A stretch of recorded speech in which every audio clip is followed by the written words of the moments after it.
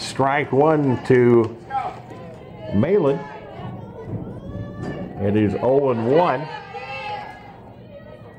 Here's the wind of the 0 1 pitch from Werner. Rusty Gate swing 0 and 2. And she is one strike away from striking out the side in inning number two.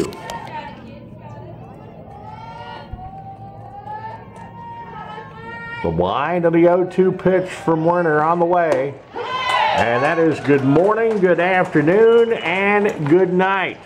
And it's three up and three down.